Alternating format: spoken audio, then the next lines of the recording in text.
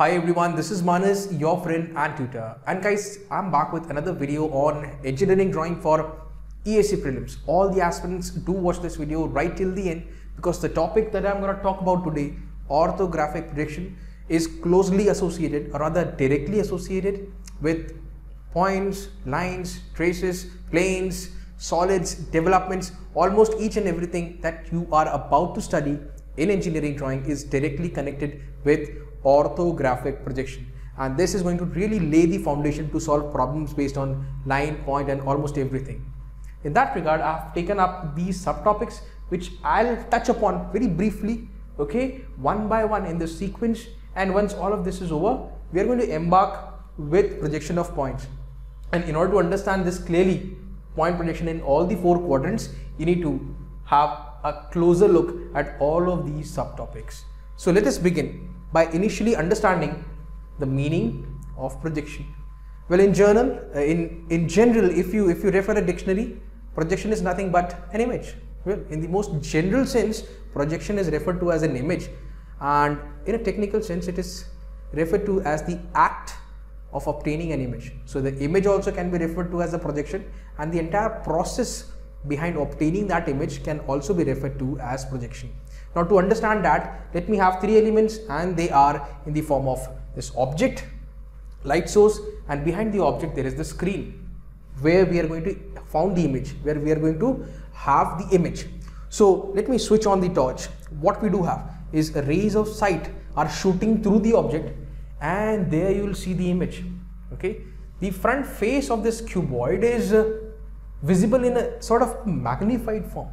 That means when we speak of projections in general, it does not give you the true shape and size of the object, isn't it? This shape is smaller than that one. So what we need to do have is a rule which is going to allow us to have the true shape and size of any object and that rule has been framed for orthographic projection. Now just take a look at this ortho. What does ortho mean to you? Ortho is a Greek word and it means at right angles or at an angle of 90 degrees. And let me tell you and rather demonstrate to you as to what this projection is all about. Again, we are going to have two elements in the form of this object and behind that object we have a screen. Screen technically speaking is what is referred to as the POP that is plane of projection. Okay, so let us have the rays of sight. Okay, these rays of sight are also referred to as projectors. Now, the one difference which you can immediately point out that all the rays of sight, all the projectors are parallel to each other. Okay, so therefore, this orthographic projection also falls in the category of parallel projection, you can say. Secondly, when these rays of sight strike the screen, they do it at an angle of 90 degrees, and that's why ortho. So, this is the image, and these are the rays of sight. Again, two rules that needs to be followed. Number one, all the rays of sight or projectors should be parallel to each other. Remember this. Secondly, when they strike the plane of projection, they do that at an angle of 90 degrees. So this is the entire idea of orthographic projection. Now guys, let's talk about quadrants, principal planes and then I'll let you know what this rotation protocol is. Okay. So it goes like this. As far as two-dimensional coordinate system is concerned, you have a y-axis, you have an x-axis, you have quadrants in the form of say first, second, third and fourth quadrants. And as far as this two-dimensional coordinate system is concerned, you should be able to locate a point, rather position of point. You should be able to position a line or represent a line. Okay, a line basically which is having only two coordinates. Let's say uh, it's both the ends are having x and y coordinates, x1, y1 and x2, y2. You can do that successfully and plot it, no problem whatsoever. But what about a line which is in the three-dimensional coordinate system which has x, y and z coordinates? Or what about a three-dimensional object? How do you represent it? So to, to make sure that happens, we have a three-dimensional coordinate system which has been framed with the help of this plane over here that is the vertical plane and this over here that is the horizontal plane. The intersection of these two is sort of a line and this line is what is referred to as the reference line. The intersection of VP and the HP is a line and that is the reference line. Remember this. You can clearly see that this sort of makes arrangement of four quadrants 1, 2, 3 and 4. And let me define all of them. As far as quadrant number 1 is concerned, object is above HP and in front of VP. And if I were to define the position of an object in second quadrant, object is obviously above HP, but it is behind the VP. As far as third quadrant is concerned, object is below the HP and behind the VP. And when you speak about fourth quadrant, yes, it is below the HP, but it is in front of the VP. So this is the how you represent any point or any object in the four quadrants. Now, always remember, this is where from you need to view the front, this is for the top. Let's say if an object is present in the first quadrant, you should be able to view it. Observer, object and plane of projection. That is the VP. When you view that same object from the top, observer, object and below that we have HP as our POP that is plane of projection.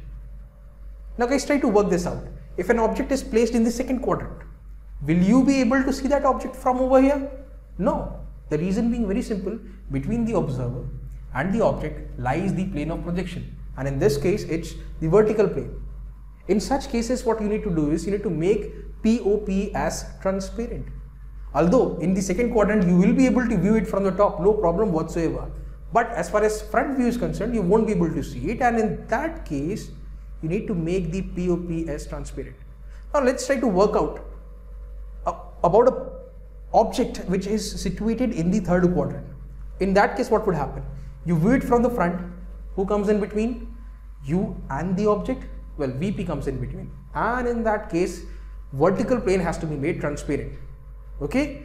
Similarly, when you try to view the same object from the top, you won't be able to view it as horizontal plane comes in between. And in that case, HP has to be made transparent. So this is entirely how you need to analyze an object position in different quadrants. Okay. Now let me tell you something about the rotation protocol and this is closely associated with first angle projection and third angle projection. Now guys, this rotation protocol has to be followed for all the four quadrants but in general we usually go for first and third angle projection. The reason for which will be seen later on in the video and I'll let you know why. And some of you may even know the reason why first and third angle projections are uh, followed across the entire globe. Okay. So here we go. Let us talk about rotation protocol. So remember this. There are two protocols. Protocol number one says that HP has to be rotated clockwise by an angle of 90 degree. And in the second protocol, PP that is profile plane. Well, profile plane is where you obtain the side view. Okay. PP has to be rotated 90 degrees in the anti-clockwise sense. Remember these two protocols as we are going to apply them in first angle and third angle. Why this protocol has been made in such a manner? The reasons, the answer will be seen in a short while. And let's talk about first angle projection. Now, object obviously in this case will be above HP and in front of the VP. Clearly seen, no problem whatsoever. So let's have the front view. Okay, it has been obtained in the VP. And let's have the top view that has been obtained in the horizontal plane. Very easy, isn't it? Let's try to obtain the side view. Rather to be very specific, let us have the left hand side view. For obtaining the left hand side view, we need to place a profile plane over there, right behind the object. Okay, always remember HP for the top view, VP for the front view and PP that is profile plane for the side view. Always remember this. Now you can clearly see that these three views have been obtained on three mutually perpendicular plates HP, VP and PP. What we need to do? Well, we cannot fold our sheets like this and make, make it, make it, okay? So the policy that we are going to follow right now is this, okay? So fix this VP and rotate the horizontal plane clockwise by 90 degree. What will happen? Both VP and HP will become coplanar. In the same manner, rotate this PP in the anti-clockwise sense by an angle of 90 degrees. Again, that will become coplanar with VP as well as HP. Now you can clearly say that on a piece of drawing sheet, you have the front view above, that is you have the uh, VP, top view below, that is you have the, what do you call, HP and towards the right of VP, you have the left hand side view, that is the profile plane. So this is exactly how the layout of first angle projection looks like. Fine. Remember one thing, final call, observer object and plane of projection. This is the sequence of events. Observer, object and plane of projection as far as first angle projection is concerned. Now let us talk about third angle projection. Here the protocol is observer, plane of projection and the object.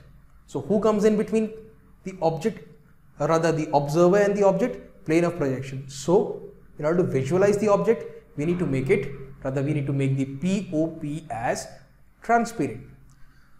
Let's try to take a look at this illustration. So we have an object which is below the HP and which is sort of behind the VP. So when you try to take a look at it from the front, you won't be able to see it. When you try to take a look at this object from the top, again you won't be able to see it. So both the principal planes, both HP as well as VP are to be made transparent. Okay, so let's have the front view. That's the front view in the form of a rectangle and that's the top view again in the form of a rectangle. Again we need to follow the rotation protocol. But before that let us have the side view also. Okay, so here I am, I am the observer, that is the object who will come between me, that is the observer and the object, a POP. And I am taking a look at this from the left hand side. So I'll have a profile plane over there. Okay, fine. So that is the side view. Now fix the VP, fix it, fine.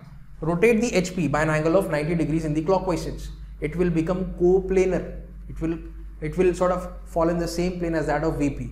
So now HP is above, VP is below, top view is above, front view is below. And if I rotate this PP by an angle of 90 degrees in the anti-clockwise sense, what I what do I get? I get a left hand side view. But this time around, I get a left hand side view to the left of front view and previously in the case of first angle projection, I got a left hand side view towards the right of front view. So that is the difference. Okay, remember this. This is going to be very important, especially for learning the symbol. Left hand side view is towards the right of front view in case of first angle projection, and left hand side view is towards the left of front view in case of a third angle projection. Okay, let's talk about symbols. Very interesting. And to understand the framing of symbol, what we do have over here is the frustum of a cone. When you try to take a look at the frustum of the cone, you get sort of a trapezium and you, when you try to take a look at this from the left hand side for first angle projection, okay, you are going to have a left hand side view towards the right of front. That's it. Two concentric circles. Now let's say this sort of frustum of a cone is uh, lying in the third quadrant.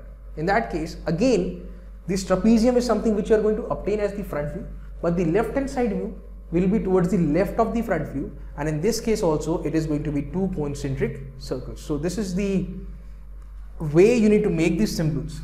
So that's over. Now let us talk about this stuff that is projection of points.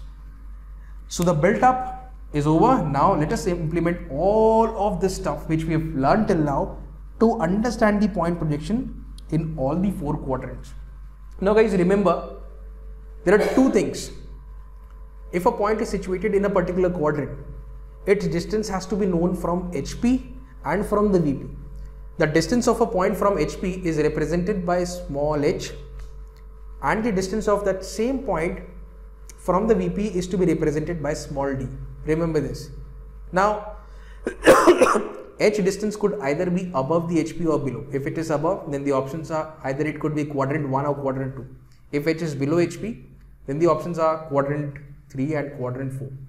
If a point is situated in front of VP, then the option is what? Quadrant 1 and quadrant 4. If a point is behind the VP, then the option is either it could be option, uh, what do you say, quadrant 2 or quadrant 3. So this is particularly a way to analyze points in different quadrants. Let's talk about first quadrant. Let us take a look at this illustration. Here we have VP, HP, so there is a point in front of VP and above the HP. Fine, no problem. Now, if you try to take a look at that point from the front, you can see this A dash over here. That is the front view which has been obtained in the vertical plane. And when you try to take a look at that same point from the top, you have an A. Okay, that is the top view onto the horizontal plane. Again, the rotation protocol, rotate the HP by an angle of 90 degrees in the clockwise sense. What do you have? You have the front view above, that is A dash above and A below but you are going to have different sorts of arrangement in all the four quadrants. So the best way to remember is here. Let me tell you. Let me draw an XY line and let me and make you understand all the four cases one by one. Okay. So you can clearly see that H above, H rather falls above, this is H and this is D. And with H always remember you need to put a dash that is A dash. With D you don't put a dash. This A dash wherever there is a dash always remember H for the front view. And if you don't see a dash well that automatically qualifies as the top view. Dash means front view. Okay remember this and uh, if there is no dash if there is no dash then it's a top view and one more thing which I need to tell you is if there is a double dash, well, that means a side view. It could be a left hand side view or it could also be another right hand side view. Okay, so this was all about projection of a point in first quadrant or in first angle. Let us talk about a point which is situated in second quadrant that is behind VP and above HP. So here is the view. That's the front, that's the top. Front that is A dash and top that is A. Rotate. Again same rotation protocol has to be followed always. It has to be followed for all the four quadrants. What are we going to do? We are going to rotate the hp by an angle of 90 degree clockwise. What happens? Both these dimensions h and d they are going to overlap. And in that case it would be looking something like this. Okay? So let's say this is a dash and let's say this is a this distance over here has got to be d and this distance my friends is h. Pretty simple. Okay? So this is uh, projection of a point in first quadrant. This is projection of a point in second quadrant. Now let us take a look at the projection of a point which is situated in the third quadrant. Now remember this is this is a trick First angle projection you should know h above d below. In third angle projection it is exactly opposite of this first angle. That means d above and h below. And in fourth angle projection you will see d and h both of them below the xy line. Okay, let us try to make you understand why this is so. So we have a point which is below HP and which is behind the VP. Fine, no issues. When you take a look at that from the front, you have the front view, A dash. When you take a look at that from the top, you have the top view in the form of A. Again, what we need to do, we need to rotate, rotate which plane? We are going to rotate the horizontal plane again by an angle of 90 degrees in the clockwise sense. What do we get? What do we get? We get something like this. Okay. Now D will be above and H will be below. Always put a dash with H. So this is going to be A dash and this is going to be simply A. Exactly opposite. First angle H above and D below, third angle D above and H below. And finally, let us take up the final case that is fourth quadrant where the object is obviously below the HP and it is in front of the VP. Okay, that's the front view and that's the top view. Same stuff, rotate the HP in the clockwise sense, we'll get a figure something of this sort like this and let's call this distance as H. Okay, that's H let's say and let's call this over here as D. So that's all guys. With an H you need to put a dash so that's going to be A dash. Okay, with D you don't put a dash so that's it. This is projection of a point in all the four quadrants. Remember this and this is going to be really helpful to immediately solve problems and judge the answers. So guys, that was all for today's video and watch this video and simultaneously you can make the notes or download this video whatever your choices may be and again after this video we'll be solving almost 20 to 30 problems based on the basics of projection orthographic projection and projection of points also. And they are going to be very useful. It's going to be uploaded in a few days.